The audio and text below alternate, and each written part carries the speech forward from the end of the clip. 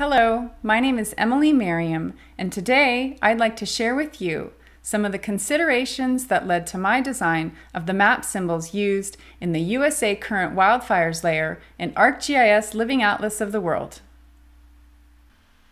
The USA wildfire symbol must be minimal and prominent.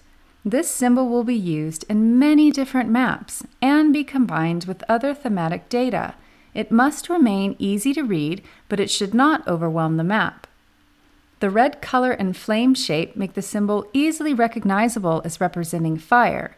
This helps map readers understand the layer without consulting a legend.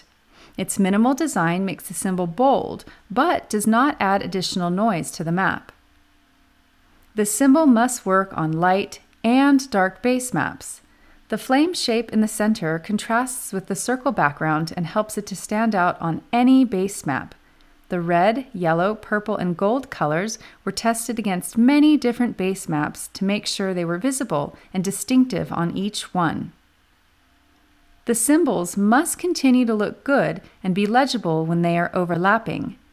A round shape was chosen because it's the most forgiving when symbols overlap. The symbol must respect concerns of accessibility. The color scheme was designed to be differentiable by the most common forms of color blindness, as well, the smallest symbol sizes are large enough to read. The symbol must look good at all scales. It should be recognizable at its smallest size, but not appear fuzzy when it is very large. The flame shape has only three points, which are spaced far enough apart that the shape is still clear when it is very small. The symbol should reflect the official map standards used by firefighting agencies in the United States. Burn areas are shown with a light pink fill and a red outline, the same as official fire maps. The symbol should be responsive and perform optimally. When exporting a map symbol from a graphics software, the recommended size is 120 pixels by 120 pixels.